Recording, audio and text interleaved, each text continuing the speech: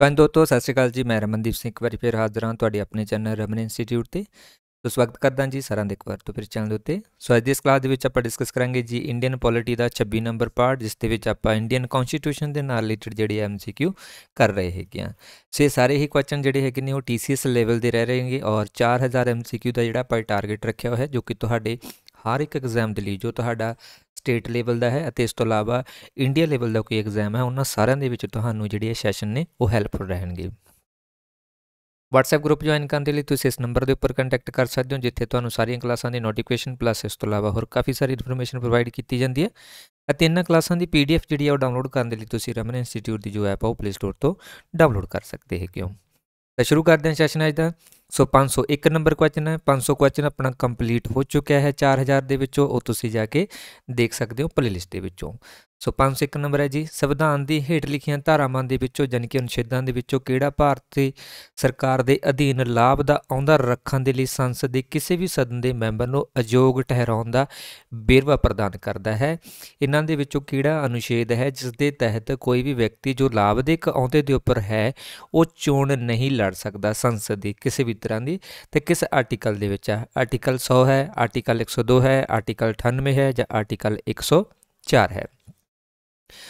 ਤਾਂ ਅਯੋਗ ਠਹਿਰਾਉਣ ਦਾ ਜਿਹੜਾ ਵੇਰਵਾ ਦਿੱਤਾ ਗਿਆ ਹੈ, ਉਹ ਆਰਟੀਕਲ 102 ਦੇ ਵਿੱਚ ਦਿੱਤਾ ਗਿਆ ਹੈ ਕਿ ਜੇਕਰ ਕੋਈ ਵਿਅਕਤੀ ਲਾਭਦਾਇਕ ਪਦਵੀ ਦੇ ਉੱਪਰ ਹੈ, ਮਤਲਬ ਕਿਸੇ ਗਵਰਨਮੈਂਟ ਸਰਵਿਸ ਦੇ ਉੱਪਰ ਹੈ, ਤਾਂ ਉਸ ਨੂੰ ਸੰਸਦ ਦੇ ਕਿਸੇ ਵੀ ਸਦਨ ਦਾ ਮੈਂਬਰ ਬਣਨ ਦੇ ਯੋਗ ਨਹੀਂ ਸਮਝਿਆ ਜਾਊਗਾ। ਕੋਈ ਵੀ ਗਵਰਨਮੈਂਟ ਸਰਵਿਸ ਠੀਕ ਹੈ? ਬਟ ਜਿਵੇਂ ਕਿ ਕਹਿ ਸਕਦੇ ਆਪਾਂ, ਪ੍ਰਧਾਨ ਮੰਤਰੀ ਹੋ ਗਿਆ, ਰਾਸ਼ਟਰਪਤੀ ਹੋ ਗਿਆ ਹੈ ਜਾਂ ਗਵਰਨਰ ਹੋ ਗਿਆ, ਇਹਨਾਂ ਨੂੰ ਇਹ ਲਾਭਦਾਇਕ ਜਿਹੜਾ ਹੈ, ਲਾਭ ਦੇ ਆਉਂਦਿਆਂ ਦੇ ਵਿੱਚ ਨਹੀਂ ਗਿਣਦੇ ਹੈਗੇ, ਕਿਉਂਕਿ ਇਹ ਜਿਹੜੇ ਲੋਕਾਂ ਦੇ ਸੇਵਕ ਮੰਨੇ ਜਾਂਦੇ ਹੈ। ਪਰ ਐਕਚੁਅਲ ਦੇ ਵਿੱਚ ਆਪਾਂ ਇਹਨਾਂ ਨੂੰ ਉੱਪਰ ਰੱਖਿਆ ਹੋਇਆ ਹੈ ਬਟ ਐਕਚੁਅਲ ਦੇ ਵਿੱਚ ਇਹ ਲੋਕਾਂ ਦੇ ਜਿਹੜੇ ਸੇਵਕ ਹੁੰਦੇ ਹੈਗੇ ਨੇਗੇ, ਨਾ ਕਿ ਇਹਨਾਂ ਦਾ ਕੋਈ ਲਾਭਦਾਇਕ ਆਉਂਦਾ ਹੁੰਦਾ ਹੈ। ਲੋਕਾਂ ਦੀ ਸੇਵਾ ਕਰਨ ਦੇ ਲਈ ਗਏ ਹੁੰਦੇ ਹੈਗੇ ਹੈਗੇ ਬਟ ਬਾਅਦ ਦੇ ਵਿੱਚ ਸਾਡੇ ਉੱਪਰ ਹੀ ਡੰਡਾ ਚਲਾ ਦਿੰਦੇ ਹੁੰਦੇ ਆ। ਚਲਿਏ ਜੀ।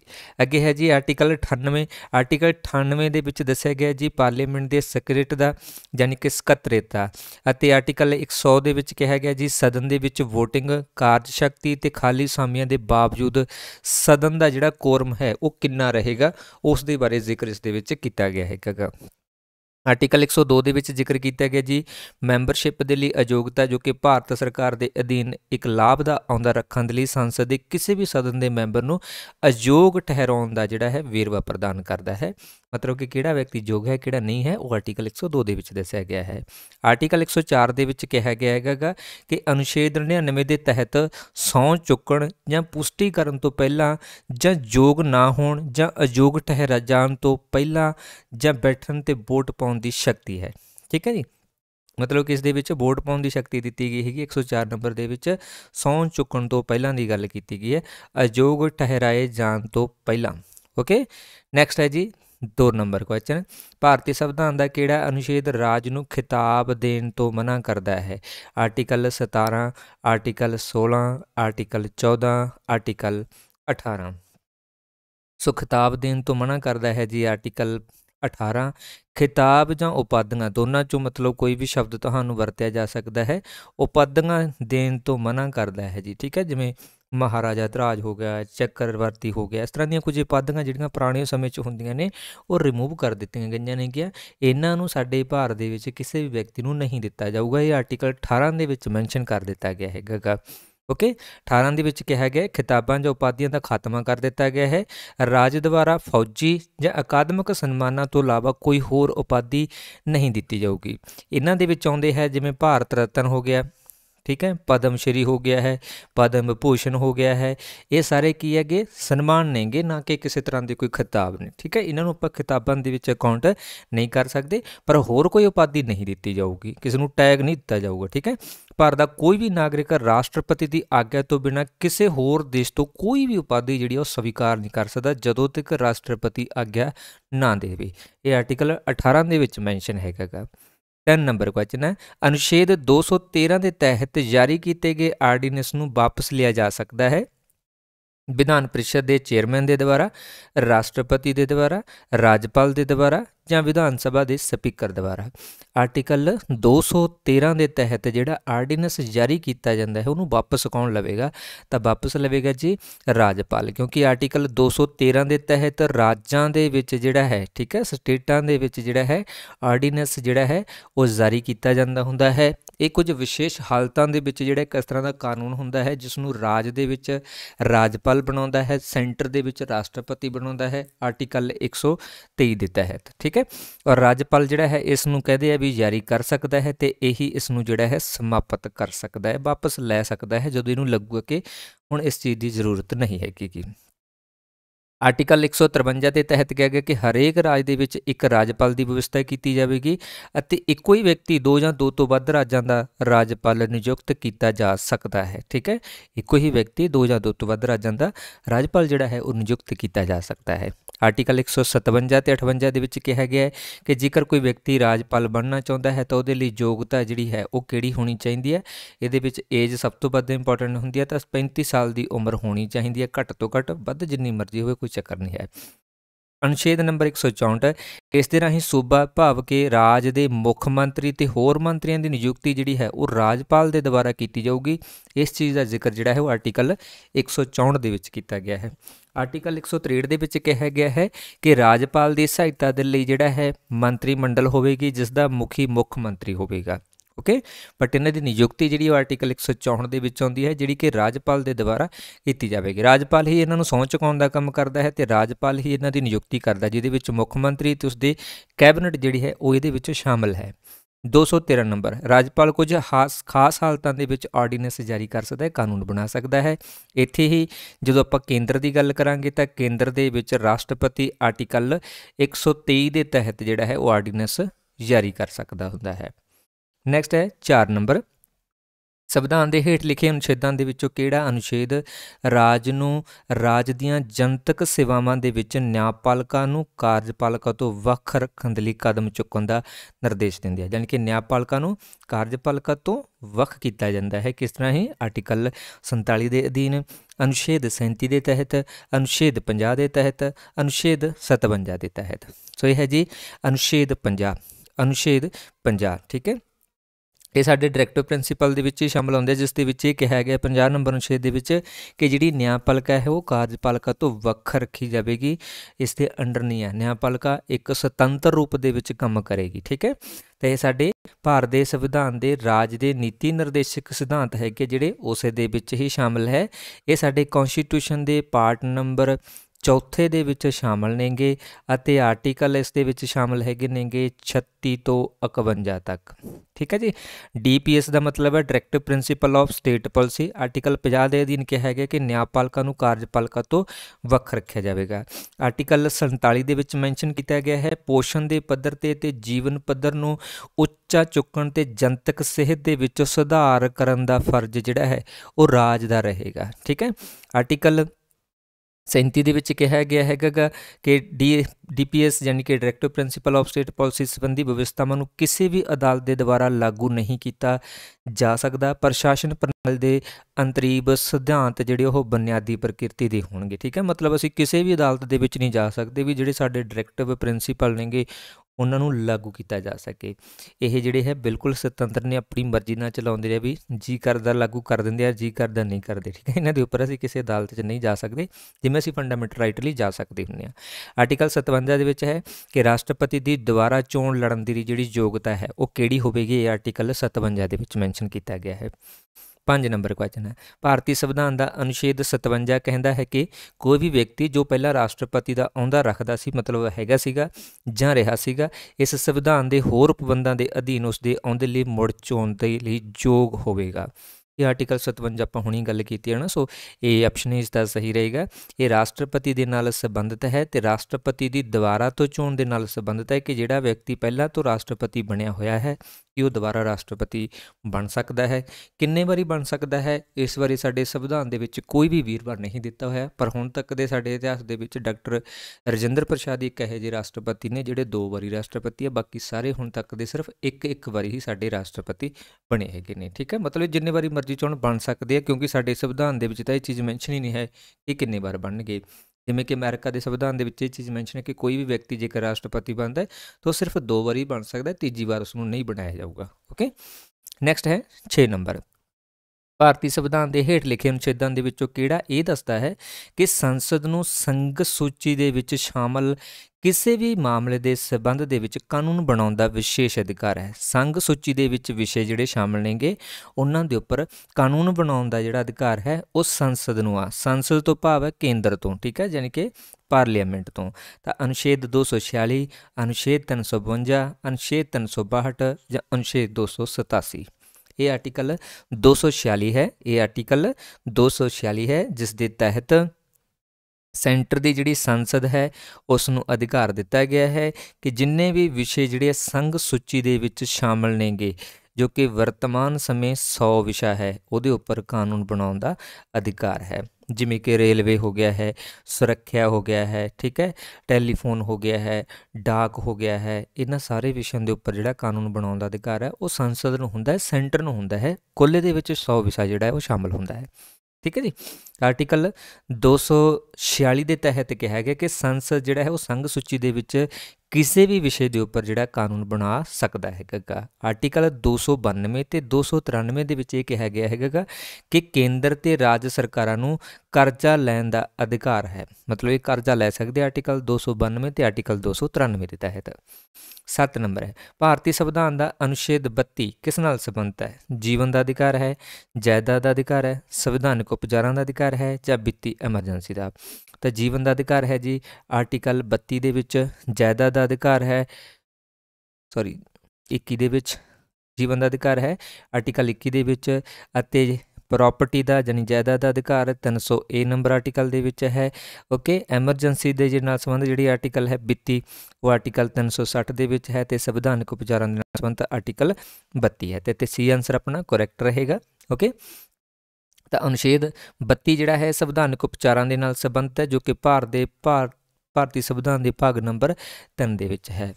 ਇਸ ਆਰਟੀਕਲ ਦੇ ਤਹਿਤ ਜਿਹੜਾ ਹੈ, ਜੇਕਰ ਸਾਡੇ ਫੰਡਾਮੈਂਟਲ ਰਾਈਟ ਸਾਨੂੰ ਸਰਕਾਰ ਨਹੀਂ ਦਿੰਦੀ ਹੈਗੀ, ਇਹਦੇ ਤਹਿਤ ਅਸੀਂ ਸਿੱਧਾ ਸੁਪਰੀਮ ਕੋਰਟ ਦੇ ਵਿੱਚ ਜਾ ਕੇ ਜਿਹੜਾ ਹੈ, ਆਪਣੇ ਇਹਨਾਂ ਫੰਡਾਮੈਂਟਲ ਰਾਈਟਸ ਨੂੰ ਲਾਗੂ ਕਰਵਾ ਸਕਦੇ ਹਾਂ। ਇਸੇ ਕਾਰਨ ਕਰਕੇ ਹੀ ਡਾਕਟਰ ਬੀ ਆਰ ਅੰਬੇਦਕਰ ਨੇ ਜਿਹੜਾ ਹੈਗਾ ਇਸ ਪਾਰਟ ਨੂੰ ਜਾਂ ਇਸ ਆਰਟੀਕਲ ਨੂੰ ਭਾਰਤੀ ਸੰਵਿਧਾਨ ਦਾ ਦਿਲ ਅਤੇ ਆਤਮਾ ਕਿਹਾ ਹੈ। 32 ਨੰਬਰ ਆਰਟੀਕਲ ਨੂੰ ਓਕੇ 8 ਨੰਬਰ ਹੈ। ਭਾਰਤੀ ਸੰਵਿਧਾਨ ਦਾ ਕਿਹੜਾ ਅਨੁਛੇਦ ਘੋਸ਼ਣਾ ਕਰਦਾ ਹੈ ਕਿ ਭਾਰਤ ਦੇ ਸੰਵਿਧਾਨ 1950 ਦੇ ਲਾਗੂ ਹੋਣ ਤੋਂ ਪਹਿਲਾਂ ਬਣਾਏ ਗਏ ਭਾਰਤੀ ਸੰਵਿਧਾਨ ਦੇ ਭਾਗ ਤੀਜੇ ਦੇ ਨਾਲ ਅਸੰਗਤ ਸਾਰੇ ਕਾਨੂੰਨ ਰੱਦ ਕਰ ਦਿੱਤੇ ਜਾਣਗੇ। ਓਕੇ? ਮਤਲਬ ਕਿ 1950 ਦੇ ਵਿੱਚ ਜਿਹੜਾ ਸਾਡਾ ਸੰਵਿਧਾਨ ਲਾਗੂ ਹੁੰਦਾ ਹੈਗਾ ਤੇ ਭਾਗ ਨੰਬਰ 3 ਦੇ ਵਿੱਚ ਜੇਕਰ ਉਹ ਛੇੜਛਾੜ ਕਰਦਾ ਹੈ, ਮਤਲਬ ਕਿ ਸਾਡੇ ਜਿਹੜੇ ਮੌਲਿਕ ਅਧਿਕਾਰ ਨੇ, ਉਹਨਾਂ ਦੇ ਨਾਲ ਜੇਕਰ ਉਹ ਛੇੜਛਾੜ ਕਰਦੇ ਹੈਗੇ ਹੈਗੇ ਮੂਲ ਢਾਂਚੇ ਦੇ ਨਾਲ, ਤਾਂ ਉਹ ਕਾਨੂੰਨ ਰੱਦ ਹੋ ਜਾਣਗੇ। ਇਹ ਕਿਹੜੇ ਆਰਟੀਕਲ ਦੇ ਵਿੱਚ ਹੈ 10 ਨੰਬਰ 'ਚ ਹੈ 17 ਨੰਬਰ 'ਚ ਹੈ 13 ਨੰਬਰ 'ਚ ਹੈ ਜਾਂ 19 ਨੰਬਰ 'ਚ ਹੈ? ਤੇ ਆਰਟੀਕਲ 13 ਦੇ ਵਿੱਚ ਹੈ ਕਿਉਂਕਿ ਸਾਨੂੰ ਫੰਡਾਮੈਂਟਲ ਰਾਈਟ ਦੀ ਜਿਹੜੀ ਸੰਵਿਧਾਨਕ ਗਾਰੰਟੀ ਦਿੰਦਾ ਹੈ, ਉਹ ਆਰਟੀਕਲ 13 ਹੈ, ਠੀਕ ਹੈ? ਗਾਰੰਟੀ ਦਿੰਦਾ ਹੈ ਆਰਟੀਕਲ 13 ਉਸ ਦੇ ਤਹਿਤ ਹੀ ਇਹ ਚੀਜ਼ ਮੈਂਸ਼ਨ ਕੀਤੀ ਗਈ ਹੈ ਕਿ ਜੇਕਰ ਕੋਈ ਕਾਨੂੰਨ ਭਾਗ ਨੰਬਰ 3 ਦੇ ਨਾਲ, ਜਿਹੜਾ ਕਿ ਫੰਡਾਮੈਂਟਲ ਰਾਈਟ ਦੇ ਨਾਲ ਸੰਬੰਧਿਤ ਹੈ, ਉਹਦੇ ਨਾਲ ਕੋਈ ਛੇੜਛਾੜ ਕਰੇਗਾ ਤਾਂ ਉਸ ਕਾਨੂੰਨ ਨੂੰ ਰੱਦ ਕੀਤਾ ਜਾਵੇਗਾ, ਇਹ ਆਰਟੀਕਲ 13 ਕਹਿ ਦਿੰਦਾ ਹੈ। ਓਕੇ? ਤੇ ਇਸ ਦੇ ਵਿੱਚ ਸਾਨੂੰ ਇਹ ਯਕੀਨੀ ਬਣਾਉਣ ਦੀ ਜਿਹੜੀ ਕਹਿ ਸਕਦੇ ਆ ਮਤਲਬ ਸ਼ਕਤੀ ਦਿੱਤੀ ਗਈ ਹੈ ਕਿ ਹਰੇਕ ਨਾਗਰਿਕ ਨੂੰ ਜਿਹੜੇ 6 ਤਰ੍ਹਾਂ ਦੇ ਮੌਲਿਕ ਅਧਿਕਾਰ ਨੇ ਉਹ ਮਿਲਣੇ ਹੀ ਮਿਲਣੇ ਹੈਗੇ ਨੇ ਬਟ ਐਮਰਜੈਂਸੀ ਦੇ ਦੌਰਾਨ ਇਹ ਪੋਸਟਪੋਨਡ ਵਗੈਰਾ ਹੋ ਜਾਂਦੇ ਹੈਗੇ ਪਰ ਨਾਰਮਲੀ ਜਿਹੜਾ ਇਹ ਸਾਰੇ ਵਿਅਕਤੀਆਂ ਨੂੰ ਇਹ 6 ਪ੍ਰਕਾਰ ਦੇ ਜਿਹੜੇ ਅਧਿਕਾਰ ਆ ਮਿਲਣਗੇ ਗਾਰੰਟੀ ਰਹੇਗੀ ਆਰਟੀਕਲ 13 ਦੇ ਵਿੱਚ। 9 ਨੰਬਰ ਹੈ 25 ਜਨਵਰੀ 1965 ਤੋਂ ਬਾਅਦ ਵੀ ਸਰਕਾਰੀ ਉਦੇਸ਼ਾਂ ਦੇ ਲਈ ਅੰਗਰੇਜ਼ੀ ਦੀ ਵਰਤੋਂ ਨੂੰ ਜਾਰੀ ਰੱਖਣ ਦੇ ਲਈ ਭਾਰਤੀ ਸੰਵਿਧਾਨ ਦੇ ਹੇਠ ਲਿਖੇ ਅਨੁਛੇਦਾਂ ਦੇ ਵਿੱਚੋਂ ਕਿਸ ਨੇ ਸੰਸਦ ਨੂੰ ਕਾਨੂੰਨ ਬਣਾਉਣ ਦਾ ਅਧਿਕਾਰ ਦਿੱਤਾ ਹੈ। ਅਨੁਛੇਦ 348 ਧਾਰਾ 2 ਅਨੁਛੇਦ 348 ਧਾਰਾ 3 ਅਨੁਛੇਦ 343 ਧਾਰਾ 3 ਅਨੁਛੇਦ 343 ਧਾਰਾ 2 25 ਜਨਵਰੀ 1965 ਤੋਂ ਬਾਅਦ ਸਰਕਾਰੀ ਉਦੇਸ਼ਾਂ ਦੇ ਲਈ ਜਿਹੜਾ ਹੈ ਅੰਗਰੇਜ਼ੀ ਦੀ ਵਰਤੋਂ ਜਾਰੀ ਰੱਖਣ ਦੇ ਲਈ ਕਾਨੂੰਨ ਬਣਾਇਆ ਗਿਆ ਹੈਗਾ ਸੋ ਇਹ ਕਿਸ ਆਰਟੀਕਲ ਦੇ ਵਿੱਚ ਜ਼ਿਕਰ ਕੀਤਾ ਗਿਆ ਹੈ? ਤਾਂ ਇਹ ਆਰਟੀਕਲ 343 ਧਾਰਾ 3 ਆਰਟੀਕਲ 343 ਧਾਰਾ 3 ਦੇ ਵਿੱਚ ਜ਼ਿਕਰ ਕੀਤਾ ਗਿਆ ਕਿ ਸਰਕਾਰੀ ਭਾਸ਼ਾ ਦੇ ਰੂਪ ਦੇ ਵਿੱਚ ਜਾਂ ਕਹਿ ਸਕਦੇ ਹਾਂ ਸਰਕਾਰੀ ਆਦੇਸ਼ਾਂ ਨੂੰ ਪਾਸ ਕਰਨ ਦੇ ਲਈ ਇੰਗਲਿਸ਼ ਲੈਂਗੁਏਜ ਜਿਹੜੀ ਹੈ ਉਹਦਾ ਪ੍ਰਯੋਗ ਕੀਤਾ ਜਾਊਗਾ, ਉਹਦੇ ਨਾਲ ਸੰਬੰਧਿਤ ਕਾਨੂੰਨ ਬਣਾਏ ਜਾਣਗੇ। ਅਨੁਛੇਦ 343 ਦੇ ਤਹਿਤ ਕਿਹਾ ਗਿਆ ਹੈ ਕਿ ਦੇਵਨਾਗਰੀ ਸਾਡੀ ਲਿਪੀ ਰਹੇਗੀ, ਜੋ ਕਿ ਹਿੰਦੀ ਨੂੰ ਜਿਹੜਾ ਹੈ, ਹਿੰਦੀ ਨਾਲ ਸੰਬੰਧਿਤ ਹੈ ਤੇ ਹਿੰਦੀ ਨੂੰ ਅੰਗਰੇਜ਼ੀ ਦੇ ਨਾਲ-ਨਾਲ ਜਿਹੜਾ ਹੈ, ਸਰਕਾਰ ਦੀ ਸਰਕਾਰੀ ਭਾਸ਼ਾ ਦੇ ਵਜੋਂ ਮਾਨਤਾ ਦਿੱਤੀ ਗਈ ਹੈ ਕਿ ਹੈਗੀ। ਓਕੇ? ਓਕੇ? ਔਰ 25 ਜਨਵਰੀ 1965 ਤੋਂ ਬਾਅਦ ਜਿਹੜਾ ਹੈ, ਆਰਟੀਕਲ 343 ਧਾਰਾ 3 ਦੀ ਉਪਧਾਰਾ ਦੇ ਅਨੁਸਾਰ ਇਹ ਸਾਰੀਆਂ ਚੀਜ਼ਾਂ ਜਿਹੜੀਆਂ ਉਹ ਬਣਾਈਆਂ ਗਈਆਂ ਕਿ ਅੰਗਰੇਜ਼ੀ ਦੇ ਨਾਲ ਹਿੰਦੀ ਵੀ ਜਿਹੜੀ ਉਹ ਚੱਲੂਗੀ, ਠੀਕ ਹੈ? ਇਸ ਐਕਟ ਦੇ ਅਧੀਨ ਸਾਰਾ ਕੁਝ ਚੱਲਦਾ ਹੈ। 10 ਨੰਬਰ ਹੈ। ਭਾਰਤੀ ਸੰਵਿਧਾਨ ਦੇ ਅਨੁਛੇਦ 80 ਦੇ ਅਨੁਸਾਰ ਰਾਜ ਸਭਾ ਦੇ ਕੁੱਲ ਮੈਂਬਰਾਂ ਦੀ ਗਿਣਤੀ ਵੱਧ ਨਹੀਂ ਹੋ ਸਕਦੀ। 260 ਤੋਂ 250 ਤੋਂ 235 ਤੋਂ ਜਾਂ 240 ਤੋਂ। ਆਰਟੀਕਲ 80 ਦੇ ਤਹਿਤ ਰਾਜ ਸਭਾ ਦਾ ਜ਼ਿਕਰ ਕੀਤਾ ਗਿਆ ਕਿ ਰਾਜ ਸਭਾ ਹੋਵੇਗੀ। ਉਹਦੇ ਤਹਿਤ ਕੰਪੋਜੀਸ਼ਨ ਦਾ ਵੀ ਜ਼ਿਕਰ ਕੀਤਾ ਗਿਆ ਹੈ ਕਿ ਰਾਜ ਸਭਾ ਦੇ ਮੈਂਬਰ ਵੱਧ ਤੋਂ ਵੱਧ 250 ਹੋ ਸਕਦੇ, ਇਸ ਤੋਂ ਵੱਧ ਨਹੀਂ ਹੋ ਸਕਦੇ। ਘੱਟ ਵੀ ਜਿੰਨੇ ਹੋ ਜਾਣਗੇ, ਉਨੇ ਰਹਿਣਗੇ ਬਟ ਜੇਕਰ ਆਪਾਂ ਗੱਲ ਕਰੀਏ ਵੱਧ ਤਾਂ 250 ਤੋਂ ਵੱਧ ਆਪਾਂ ਵਧਾ ਨਹੀਂ ਸਕਦੇ ਹੈਗੇ। ਤਾਂ ਵੱਧ ਤੋਂ ਵੱਧ ਮੈਂਬਰ ਇਸ ਦੇ 250 ਹੁੰਦੇ ਹੈਗੇ ਆ। 250 ਮੈਂਬਰਾਂ ਦੇ ਵਿੱਚੋਂ 12 ਮੈਂਬਰ ਜਿਹੜੇ ਆ, ਉਹ ਰਾਸ਼ਟਰਪਤੀ ਦੇ ਦੁਆਰਾ ਨਾਮਜ਼ਦ ਕੀਤੇ ਜਾਂਦੇ ਹੈਗੇ ਹੈਗੇ, ਜਿਨ੍ਹਾਂ ਨੂੰ ਕਿ ਸਾਇੰਸ ਦੇ ਵਿੱਚ ਮਤਲਬ ਕੋਈ ਦਿਲਚਸਪੀ ਹੋਵੇ ਜਾਂ ਮਤਲਬ ਉਹਦੇ ਨਾਲ ਸੰਬੰਧ ਹੋਵੇ ਜਾਂ ਫਿਰ ਕਲਾ ਦੇ ਨਾਲ ਸੰਬੰਧਿਤ ਹੋਵੇ ਜਾਂ ਫਿਰ ਸਾਹਿਤ ਦੇ ਨਾਲ ਸੰਬੰਧਿਤ ਹੋਵੇ ਜਾਂ ਫਿਰ ਸਮਾਜ ਸੇਵਾ ਦੇ ਨਾਲ ਸੰਬੰਧਿਤ ਹੋਵੇ, ਉਹਨਾਂ ਦੇ ਵਿੱਚੋਂ ਕਿਸੇ ਦੇ ਨਾਲ ਵੀ ਜੇਕਰ ਕੋਈ ਵਿਅਕਤੀ ਰਿਲੇਟਡ ਹੈ ਤਾਂ ਰਾਸ਼ਟਰਪਤੀ ਉਸ ਨੂੰ ਨਾਮਜ਼ਦ ਕਰ ਸਕਦਾ ਹੈ।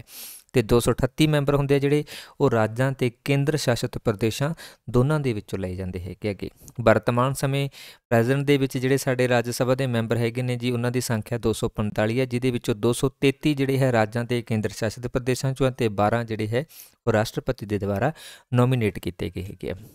11 ਨੰਬਰ। ਭਾਰਤੀ ਸੰਵਿਧਾਨ ਦੇ ਹੇਠ ਲਿਖੇ ਅਨੁਛੇਦਾਂ ਦੇ ਵਿੱਚੋਂ ਕਿਹੜਾ ਨਾਗਰਿਕਾਂ ਦੇ ਲਈ ਯੂਨੀਫਾਰਮ ਸਿਵਲ ਕੋਡ ਦੇ ਨਾਲ ਸੰਬੰਧਤ ਹੈ? ਅਨੁਛੇਦ 44 ਅਨੁਛੇਦ 42 ਅਨੁਛੇਦ 45 ਅਨੁਛੇਦ 40 ਯੂਨੀਫਾਰਮ ਸਿਵਲ ਕੋਡ ਜਿਹੜਾ ਹੈ ਉਹ ਕਿਸ ਆਰਟੀਕਲ ਦੇ ਵਿੱਚ ਹੈ? ਆਰਟੀਕਲ 44 ਦੇ ਵਿੱਚ ਹੈ। ਜਿਸ ਦਾ ਮਤਲਬ ਹੈ ਕਿ ਸਾਰੇ ਨਾਗਰਿਕਾਂ ਦੇ ਨਾਲ ਇੱਕੋ ਜਿਹਾ ਬਿਹੇਵ ਜਿਹੜਾ ਕੀਤਾ ਜਾਊਗਾ, ਕਾਨੂੰਨ ਦੇ ਤੌਰ ਦੇ ਉੱਪਰ ਕੋਈ ਭੇਦਭਾਵ ਜਿਹੜਾ ਹੈ ਉਹ ਨਹੀਂ ਰਹੂਗਾ। ਠੀਕ ਹੈ? ਸਿਵਲ ਕੋਡ ਦੇ ਅਕੋਰਡਿੰਗ ਮਤਲਬ ਕਿ ਜਦੋਂ ਵੀ ਕੋਈ ਕਾਨੂੰਨ ਬਣਾਇਆ ਜਾਵੇਗਾ, ਠੀਕ ਹੈ? ਤਾਂ ਉਹ ਕਿਸੇ ਧਰਮ, ਲਿੰਗ ਜਾਂ ਜਿੰਸੀ ਰੁਝਾਨ ਮਰਦ ਜਾਂ ਔਰਤ ਦੀ ਪਰਵਾਹ ਦੇ ਕੀਤਾ ਬਿਨਾ ਹੀ ਲਾਗੂ ਹੋ ਜਾਊਗਾ ਤੇ ਸਾਰੇ ਨਾਗਰਿਕਾਂ ਦੇ ਉੱਪਰ ਲਾਗੂ ਹੋਵੇਗਾ। ਚਾਹੇ ਉਹ ਕਿਸੇ ਵੀ ਧਰਮ ਦਾ ਹੈ, ਚਾਹੇ ਉਹ ਕਿਸੇ ਵੀ ਕਾਸਟ ਦਾ ਹੈ, ਚਾਹੇ ਕਿਸੇ ਵੀ ਉਹ ਲਿੰਗ ਦੇ ਨਾਲ ਰਿਲੇਟਡ ਮੀਨਸ ਕਿ ਮੇਲ ਜਾਂ ਫੀਮੇਲ ਦੇ ਵਿੱਚ ਹੈ ਓਕੇ ਆਰਟੀਕਲ ਧਾਰਾ ਦੇ ਵਿੱਚ ਇਹ ਸਾਰੀ ਚੀਜ਼ ਦਾ ਜ਼ਿਕਰ ਕੀਤਾ ਗਿਆ ਹੈ ਕਿ ਸਾਰੇ ਨਾਗਰਿਕਾਂ ਦੇ ਲਈ ਜਿਹੜੇ ਕਾਨੂੰਨ ਨੇ, ਉਹ ਇੱਕੋ ਜਿਹੇ ਹੈਗੇ ਨੇ। ਸਾਰੀਆਂ ਰਾਸ਼ਟਰੀ ਨੀਤੀਆਂ ਜਿਹੜੀਆਂ, ਉਹ ਸਾਰਿਆਂ ਦੇ ਲਈ ਇੱਕੋ ਜਿਹੀਆਂ ਰਹਿਣਗੀਆਂ। ਕਿਸੇ ਨੂੰ ਕੋਈ ਵਿਸ਼ੇਸ਼ ਨਹੀਂ ਰਹੇਗਾ। 12 ਨੰਬਰ। ਭਾਰਤੀ ਸੰਵਿਧਾਨ ਸਭਾ ਨੇ ਕਿਸ ਸਾਲ ਭਾਰਤ ਦੇ ਸੰਵਿਧਾਨ ਦੇ ਅਨੁਛੇਦ 370 ਨੂੰ ਅਪਣਾਇਆ ਸੀ, ਜਿਸ ਨੇ ਜੰਮੂ ਕਸ਼ਮੀਰ ਦੇ ਲਈ ਵਿਸ਼ੇਸ਼ ਰਾਜ ਦਾ ਦਰਜਾ ਤੇ ਅੰਦਰੂਨੀ ਖੁਦਮੁਖਤਿਆਰੀ ਨੂੰ ਯਕੀਨੀ ਬਣਾਇਆ ਸੀਗਾ। 1952 ਦੇ ਵਿੱਚ 1949 ਦੇ ਵਿੱਚ 1961 ਦੇ ਵਿੱਚ ਜਾਂ 1950 ਦੇ ਵਿੱਚ। ਤਾਂ ਜੰਮੂ ਐਂਡ ਕਸ਼ਮੀਰ ਨੂੰ ਵਿਸ਼ੇਸ਼ ਰਾਜ ਦਾ ਦਰਜਾ ਦਿੱਤਾ ਗਿਆ ਸੀਗਾ, ਆਰਟੀਕਲ 370 ਦੇ ਤਹਿਤ। ਇਸ ਦੀ ਜਿਹੜੀ ਮਤਲਬ ਵਿਵਸਥਾ ਕੀਤੀ ਗਈ ਸੀਗੀ, ਉਹ ਸਾਲ 1949 ਦੇ ਵਿੱਚ ਕੀਤੀ ਗਈ ਸੀਗੀ, ਜਦੋਂ ਇਸ ਦਾ ਜਿਹੜਾ ਰਾਜਾ ਹਰੀ ਸਿੰਘ ਸੀ ਨਾ, ਸੋਰੇ ਮਤਲਬ ਕਹਿ ਸਕਦੇ ਹੈਗੇ ਆ। ਇਹ ਆਦੇਸ਼ ਪਾਸ ਕੀਤਾ ਕਿ ਮੇਰੇ ਤੋਂ ਨਹੀਂ ਚੱਲਣਾ ਹੈ, ਤਾਂ ਭਾਰਤ ਨੂੰ ਮੇਰਾ ਸਹਿਯੋਗ ਦੇਣਾ ਚਾਹੀਦਾ ਉਸ ਕਾਰਨ ਕਰਕੇ ਜਿਹੜਾ ਹੈਗਾ ਕਿ ਜੰਮੂ ਕਸ਼ਮੀਰ ਨੂੰ ਵਿਸ਼ੇਸ਼ ਰਾਜ ਦਾ ਦਰਜਾ ਦੇ ਕੇ ਭਾਰਤ ਦੇ ਵਿੱਚ ਸ਼ਾਮਲ ਕਰ ਲਿਆ ਗਿਆ ਸੀਗਾ। ਉਸ ਸਮੇਂ ਤੋਂ ਲੈ ਕੇ ਇਹ ਸਾਲ 2019 ਤੱਕ ਜਿਹੜਾ ਹੈ, ਉਹ ਚੱਲਦਾ ਰਿਹਾ ਸੀਗਾ। ਠੀਕ ਹੈ ਜੀ। ਤਾਂ 17 ਅਕਤੂਬਰ 1949 ਨੂੰ ਅਨੁਛੇਦ 370 ਜਿਹੜਾ ਹੈ ਇਸ ਦਾ ਇਸਤੇਮਾਲ ਕਰਦੇ ਹੋਏ ਜੰਮੂ ਐਂਡ ਕਸ਼ਮੀਰ ਨੂੰ ਭਾਰਤ ਦੇ ਵਿੱਚ ਸ਼ਾਮਲ ਕਰ ਲਿਆ ਸੀਗਾ ਅਤੇ ਇਸ ਨੂੰ ਆਸਥਾਈ ਵਿਵਸਥਾ ਦੇ ਵਜੋਂ ਜਿਹੜਾ ਹੈ, ਸ਼ਾਮਲ ਕੀਤਾ ਗਿਆ ਸੀਗਾ। ਮਤਲਬ ਪਰਮਾਨੈਂਟ ਨਹੀਂ ਸੀ, ਜਿਸ ਵੀ ਸਮੇਂ ਮਤਲਬ ਜੰਮੂ ਐਂਡ ਕਸ਼ਮੀਰ ਵੱਖ ਹੋਣਾ ਚਾਹੇ, ਹੋ ਸਕਦਾ ਸੀ। ਪਰ ਬਾਅਦ ਚ ਮਤਲਬ ਇਹਦੀ ਆਜ਼ਾਦੀ ਨੂੰ ਜਿਹੜਾ ਹੈ ਭਾਰਤ ਨੇ ਆਪਣੇ ਅੰਡਰ ਕਰ ਲਿੱਤਾ ਸੀਗਾ। ਤਾਂ ਜੰਮੂ ਐਂਡ ਕਸ਼ਮੀਰ ਦਾ ਆਪਣਾ ਵੱਖਰਾ ਸੰਵਿਧਾਨ ਹੋਵੇਗਾ, ਠੀਕ ਹੈ? ਆਪਣਾ ਤਿਆਰ ਕਰ ਸਕਦੇ ਸੰਵਿਧਾਨ। ਇਸ ਤੋਂ ਇਲਾਵਾ ਉਹਦੀ ਜਿਹੜੀ ਵਿਧਾਨ ਪਾਲਿਕਾ ਹੈ, ਉਹ ਵੱਖਰੀ ਰਹੇਗੀ, ਉਹਦੀਆਂ ਆਪਣੀਆਂ ਸ਼ਕਤੀਆਂ ਹੋਣਗੀਆਂ। ਇਹ ਸਾਰਾ ਕੁਝ ਜੰਮੂ ਕਸ਼ਮੀਰ ਨੂੰ ਆਰਟੀਕਲ 370 ਦੇ ਵਿੱਚ ਕਿਹਾ ਗਿਆ ਸੀਗਾ। ਓਕੇ ਧਿਆਨ ਰੱਖਣਾ ਹੈ ਕਿ ਇਹ ਜਿਹੜਾ ਆਰਟੀਕਲ 370 ਹੈ, ਇਹਦਾ ਖਰੜਾ ਜਿਹੜਾ ਤਿਆਰ ਕੀਤਾ ਸੀਗਾ, ਉਹ ਐਨ ਗੋਪਾਲ ਸਵਾਮੀ ਅਈਰ ਦੇ ਦੁਆਰਾ ਕੀਤਾ ਗਿਆ ਸੀ। ਅਈਰ ਦੇ ਦੁਆਰਾ, ਠੀਕ ਹੈ? ਐਨ ਗੋਪਾਲ ਸਵਾਮੀ ਅਈਰ ਦੇ ਦੁਆਰਾ ਇਸ ਦਾ ਖਰੜਾ ਤਿਆਰ ਕੀਤਾ ਗਿਆ ਸੀ ਤੇ ਭਾਰਤ ਸਰਕਾਰ ਨੇ 5 ਅਗਸਤ 2019 ਨੂੰ ਰਾਜ ਸਭਾ ਦੇ ਵਿੱਚ ਇੱਕ ਜਿਹੜਾ ਕਹਿ ਸਕਦੇ ਐਕਟ ਪਾਸ ਕੀਤਾ ਸੀ ਜਿਸ ਨੂੰ ਕਿ ਜੰਮੂ ਕਸ਼ਮੀਰ ਪੁਨਰ ਐਕਟ ਕਿਹਾ ਜਾਂਦਾ ਹੈ 2019 ਦਾ, ਜਿਸ ਦੇ ਤਹਿਤ ਇਹਨਾਂ ਨੇ ਅਨੁਛੇਦ 370 ਰਿਮੂਵ ਕਰ ਦਿੱਤਾ ਸੀਗਾ ਅਤੇ ਜੰਮੂ ਕਸ਼ਮੀਰ ਨੂੰ ਜਿਹੜਾ ਹੈ ਵਿਸ਼ੇਸ਼ ਰਾਜ ਤੋਂ ਬਦਲ ਕੇ ਜਿਹੜਾ ਹੈ ਇਸ ਨੂੰ ਦੋ ਕੇਂਦਰ ਸ਼ਾਸਿਤ ਪ੍ਰਦੇਸ਼ਾਂ 'ਚ ਬਦਲ ਦਿੱਤਾ, ਇੱਕ ਜੰਮੂ ਕਸ਼ਮੀਰ ਤੇ ਦੂਸਰਾ ਲਦਾਖ, ਠੀਕ ਹੈ? 31 ਅਕਤੂਬਰ 2019 ਦੀ ਤਰੀਕ ਹੈ ਇਸ ਦਿਨ ਤੋਂ ਇਹ ਦੋ ਕੇਂਦਰ ਸ਼ਾਸਿਤ ਪ੍ਰਦੇਸ਼ ਬਣ ਜਾਂਦੇ ਆ 13 ਨੰਬਰ ਭਾਰਤੀ ਸੰਵਿਧਾਨ ਦਾ ਕਿਹੜਾ ਅਨੁਛੇਦ ਰਾਜਾਂ ਦੇ ਵਿੱਚ ਰਾਜਪਾਲ ਦੀ ਵਿਵਸਥਾ ਕਰਦਾ ਹੈ 136 ਨੰਬਰ ਆਰਟੀਕਲ 148 124 ਜਾਂ 153 ਰਾਜਾਂ ਦੇ ਵਿੱਚ ਰਾਜਪਾਲ ਦੀ ਵਿਵਸਥਾ ਆਰਟੀਕਲ ਆਰਟੀਕਲ 153 ਦੇ ਵਿੱਚ ਕੀਤੀ ਗਈ ਹੈ 124 ਦੇ ਵਿੱਚ ਜਿਹੜਾ ਹੈ ਜੀ ਸੁਪਰੀਮ ਕੋਰਟ ਦੀ ਵਿਵਸਥਾ ਕੀਤੀ ਗਈ ਹੈ ਦੋਨੋਂ ਹੀ ਇੰਪੋਰਟੈਂਟ ਹੈ ਠੀਕ ਹੈ ਜੀ? ਆਰਟੀਕਲ 153 ਦੇ ਤਹਿਤ ਇਹ ਕਿਹਾ ਗਿਆ ਕਿ ਹਰੇਕ ਰਾਜ ਦੇ ਲਈ ਇੱਕ ਰਾਜਪਾਲ ਹੋਵੇਗਾ, ਪਰ ਇੱਕੋ ਵਿਅਕਤੀ ਦੋ ਜਾਂ ਦੋ ਤੋਂ ਵੱਧ ਰਾਜਾਂ ਦਾ ਇੱਕ ਰਾਜਪਾਲ ਹੋ ਸਕਦਾ ਹੈ। ਆਰਟੀਕਲ 143 48 ਦੇ ਤਹਿਤ ਭਾਰਤ ਦੇ ਕੰਟਰੋਲਰ ਤੇ ਐਡੀਟਰ ਜਨਰਲ ਦੀ ਵਿਵਸਥਾ ਕੀਤੀ ਗਈ ਹੈ। ਆਰਟੀਕਲ 136 ਦੇ ਤਹਿਤ ਅਪੀਲ ਦੇ ਲਈ ਸੁਪਰੀਮ ਕੋਰਟ ਦੀ ਵਿਸ਼ੇਸ਼ ਇਜਾਜ਼ਤ ਕੀਤੀ ਗਈ ਹੈ। ਆਰਟੀਕਲ 124 ਦੇ ਵਿੱਚ ਸੁਪਰੀਮ ਕੋਰਟ ਦੀ ਸਥਾਪਨਾ ਕੀਤੀ ਗਈ ਹੈ। 14 ਨੰਬਰ, ਭਾਰਤੀ ਸੰਵਿਧਾਨ ਦਾ ਕਿਹੜਾ ਅਨੁਛੇਦ ਰਾਜ ਨੂੰ ਲੋਕਾਂ ਦੀ ਭਲਾਈ ਨੂੰ ਉਤਸ਼ਾਹਿਤ ਕਰਨ ਦੇ ਲਈ ਇੱਕ ਸਮਾਜਿਕ ਪ੍ਰਣਾਲੀ ਬਣਾਉਣ ਦਾ ਨਿਰਦੇਸ਼ ਦੇਵੇਗਾ। 42 ਨੰਬਰ ਅਨੁਛੇਦ 44 ਨੰਬਰ ਅਨੁਛੇਦ 38 ਨੰਬਰ ਅਨੁਛੇਦ ਜਾਂ 45 ਨੰਬਰ ਅਨੁਛੇਦ। ਕਿਹੜਾ ਅਨੁਛੇਦ ਹੈ ਜਿਹੜਾ ਕਿ ਰਾਜ ਨੂੰ ਲੋਕਾਂ ਦੀ ਭਲਾਈ ਦੇ ਲਈ, ਕੰਮ ਕਰਨ ਦੇ ਲਈ ਉਤਸ਼ਾਹਿਤ ਕਰੇਗਾ ਤੇ ਇੱਕ ਸਮਾਜਿਕ ਪ੍ਰਣਾਲੀ ਬਣਾਉਣ ਦੇ ਲਈ ਨਿਰਦੇਸ਼ ਦੇਵੇਗਾ। ਇਹ ਹੈ ਆਰਟੀਕਲ 38 ਜਿਹੜਾ ਕਿ directive principle of state policy ਦੇ ਨਾਲ ਸੰਬੰਧਿਤ ਹੈ, ਠੀਕ ਹੈ? ਔਰ ਉਸ ਦੇ ਵਿੱਚ ਇਹ ਜ਼ਿਕਰ ਕੀਤਾ ਗਿਆ ਕਿ ਜਿਹੜਾ ਰਾਜ ਹੈ, ਉਹ ਲੋਕਾਂ ਦੀ ਭਲਾਈ ਦੇ ਲਈ ਜਿਹੜਾ ਕੰਮ ਕਰੇਗਾ, ਠੀਕ ਹੈ? ਆਰਟੀਕਲ 38 ਦੇ ਵਿੱਚ, ਰਾਜ ਲੋਕ ਭਲਾਈ ਦੇ ਪ੍ਰਚਾਰ ਦੇ ਲਈ ਸਮਾਜਿਕ ਪ੍ਰਣਾਲੀ ਦੀ ਸਿਰਜਣਾ ਕਰੇਗਾ। ਆਰਟੀਕਲ 42 ਦੇ ਵਿੱਚ, ਕੰਮਾਂ ਦੇ ਜਾਇਜ਼ ਅਤੇ ਮਨੁੱਖੀ ਸਥਿਤੀ ਅਤੇ ਜਨੇਪਾ ਰਾਹਤ ਦੇ ਲਈ ਪ੍ਰਬੰਧ ਕੀਤਾ ਗਿਆ ਹੈ। ਆਰਟੀਕਲ 44 ਦੇ ਵਿੱਚ, ਨਾਗਰਿਕਾਂ ਦੇ ਲਈ ਇੱਕਸਾਰ ਸਿਵਲ ਕੋਡ ਜਿਹਨੂੰ ਯੂਨੀਫਾਰਮ ਸਿਵਲ ਕੋਡ ਕਹਿ ਦਿੰਦੇ ਹਨ, ਸੋ ਉਹ ਆ ਜਾਂਦਾ ਹੈ। ਆਰਟੀਕਲ 45 ਦੇ ਤਹਿਤ 6 ਤੋਂ ਘੱਟ 6 ਸਾਲ ਤੋਂ ਘੱਟ ਉਮਰ ਦੇ ਬੱਚਿਆਂ ਦੇ ਲਈ ਸ਼ੁਰੂਆਤੀ ਬਚਪਨ ਦੀ ਦੇਖਭਾਲ ਕਰਨਾ ਤੇ ਸਿੱਖਿਆ ਦਾ ਪ੍ਰਬੰਧ ਕਰਨਾ ਇਹ ਆਰਟੀਕਲ 45 ਦੇ ਵਿੱਚ ਆ ਜਾਂਦਾ ਹੈ। ਨੈਕਸਟ ਹੈ 15 ਨੰਬਰ, ਭਾਰਤੀ ਸੰਵਿਧਾਨ ਦੇ ਹੇਠ ਲਿਖੇ ਅਨੁਛੇਦਾਂ ਦੇ ਵਿੱਚੋਂ ਕਿਹੜਾ 6 ਸਾਲ ਤੋਂ ਘੱਟ ਉਮਰ ਦੇ ਬੱਚਿਆਂ ਦੇ ਲਈ ਸ਼ੁਰੂਆਤੀ ਬਚਪਨ ਦੀ ਦੇਖਭਾਲ ਤੇ ਸਿੱਖਿਆ ਦਾ ਪ੍ਰਬੰਧ ਕਰਦਾ ਹੈ? 35 ਨੰਬਰ ਹੈ 44 ਨੰਬਰ ਹੈ 45 ਹੈ ਜਾਂ ਆਰਟੀਕਲ 53 ਹੈ। ਆਰਟੀਕਲ 45 ਹੈ। ਲਾਸਟ ਹੀ ਆਪਾਂ ਸਲਾਈਡ 'ਚ ਦੇਖਿਆ ਹੈ। ਇਸ ਦੇ ਤਹਿਤ ਕਿਹਾ ਗਿਆ ਹੈ ਕਿ ਜਿਹੜੇ ਬੱਚੇ ਦੀ ਉਮਰ 6 ਸਾਲਾਂ ਤੋਂ ਘੱਟ ਹੋਵੇਗੀ, ਉਹਦੇ ਸ਼ੁਰੂਆਤੀ ਦੌਰ ਦੇ ਵਿੱਚ ਉਸਦੇ ਬਚਪਨ ਦੀ ਦੇਖਭਾਲ ਕਰਨਾ ਤੇ ਸਿੱਖਿਆ ਦਾ ਪ੍ਰਬੰਧ ਕਰਨਾ ਰਾਜ ਦੀ ਜ਼ਿੰਮੇਵਾਰੀ ਰਹੇਗੀ। 16 ਨੰਬਰ, ਭਾਰਤੀ ਸੰਵਿਧਾਨ ਦੇ ਹੇਠ ਲਿਖੇ ਅਨੁਛੇਦਾਂ ਦੇ ਵਿੱਚੋਂ ਕਿਹੜਾ ਅਨੁਛੇਦ ਨਾਗਰਿਕਾਂ ਨੂੰ ਰੋਜੀ ਰੋਟੀ ਦੇ ਢੁਕਵੇਂ ਸਾਧਨ ਦੇ ਅਧਿਕਾਰ ਨੂੰ ਯਕੀਨੀ ਬਣਾਉਣ ਦੇ ਲਈ ਨਿਰਦੇਸ਼ ਦਿੰਦੀ ਹੈ? 29 ਨੰਬਰ 39 ਨੰਬਰ 27 ਨੰਬਰ ਜਾਂ 33 ਨੰਬਰ। ਤਾਂ ਆਰਟੀਕਲ 39 ਨੰਬਰ ਜਿਹੜਾ ਹੈ, ਇਹ ਰਾਜ ਨੂੰ ਜਿਹੜਾ ਹੈਗਾਗਾ, ਨਾਗਰਿਕਾਂ ਨੂੰ ਰੋਜੀ ਰੋਟੀ ਦੇ ਢੁਕਵੇਂ ਸਾਧਨਾਂ ਦੇ ਅਧਿਕਾਰ ਪ੍ਰੋਵਾਈਡ ਕਰਾਉਣ ਦੇ ਲਈ ਜਿਹੜਾ ਹੈ ਨਿਰਦੇਸ਼ ਦਿੰਦੀ ਹੈ। ਪਰ ਹੁੰਦੇ ਕਿੰਨੇ ਕਾ ਇਹ ਤੁਸੀਂ ਆਪ ਹੀ ਦੇਖਦੇ ਹੋ ਨਾ। ਹਾਂਜੀ। ਸੋ ਅਨੁਛੇਦ ਦੇ ਤਹਿਤ ਮੈਂਸ਼ਨ ਕੀਤਾ ਗਿਆ ਹੈ, ਰਾਜ ਦੇ ਨੀਤੀ ਨਿਰਦੇਸ਼ਕ ਸਿਧਾਂਤਾਂ ਦੇ ਵਿੱਚ ਕਿ ਸਾਰੇ ਨਾਗਰਿਕ, ਮਰਦ ਅਤੇ ਔਰਤਾਂ ਨੂੰ ਰੋਜੀ ਰੋਟੀ ਦੇ ਢੁਕਵੇਂ ਸਾਧਨ ਜਿਹੜੇ ਹੈ, ਉਹ ਬਰਾਬਰ ਦਿੱਤੇ ਜਾਣਗੇ। ਸਮੁਦਾਇ ਦੇ ਭੌਤਿਕ ਸਰੋਤਾਂ ਦੀ ਮਾਲਕੀਅਤ ਅਤੇ ਨਿਰਯੰਤਰ ਨੂੰ ਇਸ ਤਰੀਕੇ ਦੇ ਨਾਲ ਵੰਡਿਆ ਜਾਵੇਗਾ ਜੋ ਕਿ ਸਮੂਹਿਕ ਹਿੱਤਾਂ ਦਾ ਸਭ ਤੋਂ ਵਧੀਆ ਕੰਮ ਕਰਨ। ਆਰਥਿਕ ਪ੍ਰਣਾਲੀ ਨੂੰ ਇਸ ਤਰੀਕੇ ਨਾਲ ਚਲਾਇਆ ਜਾਊਗਾ ਕਿ ਆਮ ਜਨਤਾ ਦੇ ਲਈ ਨੁਕਸਾਨਦੇਹ ਦੌਲਤ ਤੇ ਉਤਪਾਦਨ ਦੇ ਸਾਧਨਾਂ ਦੀ ਕਿ ਇਕਾਗਰਤਾ ਨਾ ਹੋਵੇ, ਠੀਕ ਹੈ? ਇਸ ਤੋਂ ਇਲਾਵਾ ਮਰਦਾਂ ਤੇ ਔਰਤਾਂ ਨੂੰ ਦੋਵਾਂ ਨੂੰ ਬਰਾਬਰ ਕੰਮ ਦੇ ਲਈ ਬਰਾਬਰ ਤਨਖਾਹ ਮਿਲਣੀ ਚਾਹੀਦੀ ਹੈ, ਸੋ ਇਹ ਸਾਰੇ ਡਾਇਰੈਕਟਿਵ ਪ੍ਰਿੰਸੀਪਲ ਦੇ ਵਿੱਚ ਸ਼ਾਮਲ ਹੈਗੇ ਨੇ। 17 ਨੰਬਰ। ਭਾਰਤੀ ਸੰਵਿਧਾਨ ਦੇ ਕਿਹੜੇ ਅਨੁਛੇਦ ਦੇ ਵਿੱਚ ਇਹ ਜ਼ਿਕਰ ਕੀਤਾ ਗਿਆ ਹੈ ਕਿ ਦੇਵਨਾਗਰੀ ਲਿਪੀ ਦੇ ਵਿੱਚ ਲਿਖੀ ਹਿੰਦੀ ਸੰਘ ਦੀ ਸਰਕਾਰੀ ਭਾਸ਼ਾ ਰਹੇਗੀ? 343 ਧਾਰਾ 2 354 ਧਾਰਾ 2 343 ਧਾਰਾ 1 343 ਧਾਰਾ 3 ਸੋ ਕਰੈਕਟ ਆਨਸਰ ਰਹੇਗਾ 343 ਏ ਠੀਕ ਹੈ, ਜਾਂ 343 ਧਾਰਾ 1 ਜਿਹੜਾ ਹੈ, ਇਸ ਦੇ ਤਹਿਤ ਕਿਹਾ ਗਿਆ ਹੈ ਕਿ ਦੇਵਨਾਗਰੀ ਲਿਪੀ ਦੇ ਵਿੱਚ ਲਿਖੀ ਗਈ ਹਿੰਦੀ ਜਿਹੜੀ ਹੈ, ਉਹੀ ਸਾਡੀ ਸਰਕਾਰੀ ਭਾਸ਼ਾ ਰਹੇਗੀ। ਇਹਦੇ ਵਿੱਚ ਇਹ ਕੁਐਸਚਨ ਕੀਤੀ ਗਈ ਹੈ। ਠੀਕ ਹੈ? ਭਾਰਤੀ ਸੰਵਿਧਾਨ ਦੀ ਭਾਗ ਨੰਬਰ 17 ਆਰਟੀਕਲ 343 ਤੋਂ 351 ਤੱਕ, ਜਿਸ ਦੇ ਵਿੱਚ ਭਾਸ਼ਾਵਾਂ ਨੂੰ ਲੈ ਕੇ ਜ਼ਿਕਰ ਕੀਤਾ ਗਿਆ ਹੈ ਤੇ ਅਨੁਛੇਦ 343 ਧਾਰਾ 1 ਦੇ ਵਿੱਚ ਦੱਸਿਆ ਗਿਆ ਕਿ ਸੰਘ ਦੀ ਸਰਕਾਰੀ ਭਾਸ਼ਾ ਹਿੰਦੀ ਹੋਵੇਗੀ ਤੇ ਲਿਪੀ ਦੇਵਨਾਗਰੀ ਹੋਵੇਗੀ। ਆਰਟੀਕਲ 344 ਦੇ ਵਿੱਚ ਸਰਕਾਰੀ ਭਾਸ਼ਾ ਕਮਿਸ਼ਨ ਦੀ ਗੱਲ ਕੀਤੀ ਗਈ ਹੈਗੀ ਹੈ। ਆਰਟੀਕਲ 348 ਦੇ ਵਿੱਚ ਅਦਾਲਤਾਂ ਤੇ ਬਿੱਲਾਂ ਦੀ ਜਿਹੜੀ ਭਾਸ਼ਾ ਦਾ ਜ਼ਿਕਰ ਕੀਤਾ ਗਿਆ ਹੈ। ਅੱਗੇ ਹੈ ਜੀ 18 ਨੰਬਰ। ਭਾਰਤ ਦੇ ਸੰਵਿਧਾਨ ਦਾ ਕਿਹੜਾ ਅਨੁਛੇਦ ਰਾਸ਼ਟਰਪਤੀ ਨੂੰ ਮਾਫੀਆਤ ਦੇਣ ਦੇ ਕੁਝ ਮਾਮਲਿਆਂ ਦੇ ਵਿੱਚ ਸਜ਼ਾ ਨੂੰ ਮੁਅੱਤਲ ਕਰਨ, ਮਾਫ ਕਰਨ ਜਾਂ ਘਟਾਉਣ ਦੀ ਸ਼ਕਤੀ ਨੂੰ ਪ੍ਰਭਾਵਿਤ ਕਰਦਾ ਹੈ? ਤਾਂ ਆਰਟੀਕਲ 72 ਹੈ ਜੀ, ਰਾਸ਼ਟਰਪਤੀ ਨਾਲ ਸੰਬੰਧਿਤ ਵੈਰੀ ਵੈਰੀ ਇੰਪੋਰਟੈਂਟ ਪੁਆਇੰਟ ਹੈ। ਇਸ ਦੇ ਤਹਿਤ ਰਾਸ਼ਟਰਪਤੀ ਕੁਝ ਮਾਮਲਿਆਂ ਦੇ ਵਿੱਚ ਜਿਹੜਾ ਹੈ ਸਜ਼ਾ ਨੂੰ ਅੱਗੇ ਕਰ ਸਕਦਾ ਹੈ, ਸਜ਼ਾ ਨੂੰ ਮਾਫ ਕਰ ਸਕਦਾ ਹੈ, ਸਜ਼ਾ ਨੂੰ ਘਟਾ ਸਕਦਾ ਹੈ।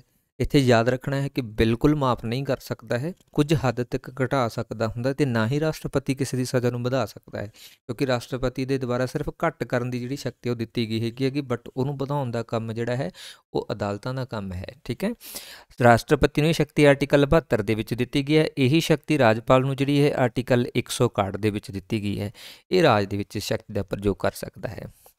19 ਨੰਬਰ। ਭਾਰਤ ਦੇ ਸੰਵਿਧਾਨ ਦੇ ਹੇਠ ਲਿਖੇ ਅਨੁਛੇਦਾਂ ਦੇ ਵਿੱਚੋਂ ਕਿਹੜਾ ਅਨੁਛੇਦ ਖੇਤੀਬਾੜੀ ਤੇ ਪਸ਼ੂ ਪਾਲਣ ਦੇ ਸੰਗਠਨ ਨਾਲ ਸੰਬੰਧਿਤ ਹੈ? 84 number article sorry 48 number article 84 number article 92 number article ਜਾਂ 29 ਨੰਬਰ ਆਰਟੀਕਲ ਤਾਂ ਆਰਟੀਕਲ 48 ਜਾਨੀ ਕਿ 48 ਨੰਬਰ ਆਰਟੀਕਲ ਜਿਹੜਾ ਹੈ, ਇਹ ਰਾਜ ਦੇ ਵਿੱਚ ਖੇਤੀਬਾੜੀ ਤੇ ਪਸ਼ੂ ਪਾਲਣ ਦੇ ਸੰਗਠਨ ਦੇ ਨਾਲ ਸੰਬੰਧਿਤ ਹੈ।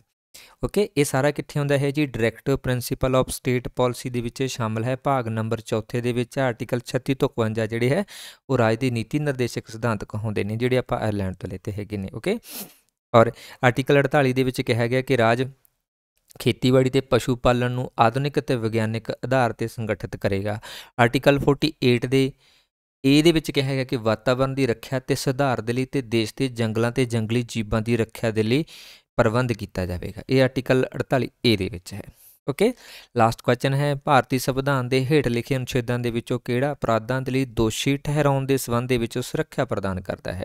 18 number article 21 number article 20 number article ਜਾਂ 19 ਨੰਬਰ ਆਰਟੀਕਲ ਅਪਰਾਧਾਂ ਦੇ ਲਈ ਦੋਸ਼ੀ ਠਹਿਰਾਉਣ ਦੇ ਵਿਰੁੱਧ ਜਿਹੜਾ ਕਹਿ ਸਕਦੇ ਹਾਂ ਸੁਰੱਖਿਆ ਪ੍ਰਦਾਨ ਕਰਦਾ ਹੈ, ਇਹ ਆਰਟੀਕਲ 20 ਹੈ। ਮਤਲਬ ਕਿਸੇ ਨੂੰ ਧੱਕੇ ਨਾਲ ਜਿਹੜਾ ਕਹਿ ਸਕਦੇ ਹਾਂ ਵੀ ਹੈ ਨਾ, ਨਜ਼ਰਬੰਦ ਨਹੀਂ ਕੀਤਾ ਜਾ ਸਕਦਾ, ਕੁੱਟਮਾਰ ਨਹੀਂ ਕੀਤੀ ਜਾ ਸਕਦੀ, ਜਦੋਂ ਤੱਕ ਮਤਲਬ ਕਿ ਹੈ ਨਾ ਆਰਡਰ ਨਹੀਂ ਕੋਈ ਆਉਂਦਾ ਹੈ, ਇਹ ਆਰਟੀਕਲ 20 ਦੇ ਵਿੱਚ ਮਤਲਬ ਕਿ ਇਸ ਨੂੰ ਅਧਿਕਾਰ ਦਿੱਤਾ ਹੈ।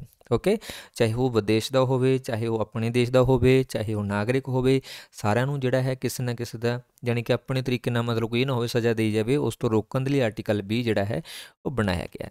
ਸੋ ਇਸੇ ਆਪਣਾ ਇਦਾਂ ਸੈਸ਼ਨ ਪੋਲੀਟੀਕਲ ਸਾਇੰਸ ਦਾ, ਉਮੀਦ ਕਰਦਾ ਤੁਹਾਡੇ ਸਾਰਿਆਂ ਲਈ ਹੈਲਪਫੁਲ ਰਿਹਾ ਸਭ ਨੂੰ ਕਾਫੀ ਕੁਝ ਜਿਹੜਾ ਸਿੱਖਣ ਨੂੰ ਮਿਲਿਆ ਹੋ ਸੋ ਇਸ ਤਰੀਕੇ ਦੇ ਬਹੁਤ ਸਾਰੇ ਸੈਸ਼ਨਸ ਤੁਹਾਨੂੰ ਮਿਲਣੇ ਨੇ, ਜਿੱਥੇ ਤੁਹਾਡੇ ਸਾਰੇ ਕੁਐਸਚਨ ਜਿਹੜੇ ਆਪਾਂ ਉਹ ਕਵਰ ਕਰ ਲਵਾਂਗੇ। ਔਰ WhatsApp ਗਰੁੱਪ ਜੁਆਇਨ ਕਰਨ ਦੇ ਲਈ ਤੁਸੀਂ ਇਸ ਨੰਬਰ ਦੇ ਉੱਪਰ ਕੰਟੈਕਟ ਕਰ ਸਕਦੇ ਹੋ ਤਿੰਨਾਂ ਕਲਾਸਾਂ ਦੀ PDF ਕਲੈਕਟ ਕਰਨ ਦੇ ਲਈ ਤੁਸੀਂ ਰਮਨ ਇੰਸਟੀਚਿਊਟ ਦੀ ਜੋ ਐਪ ਆ ਪਲੇ ਸਟੋਰ ਤੋਂ ਡਾਊਨਲੋਡ ਕਰ ਸਕਦੇ ਹੋ। ਮਿਲਦੇ ਨੈਕਸਟ ਸੈਸ਼ਨ ਦੇ ਵਿੱਚ। Thank you so much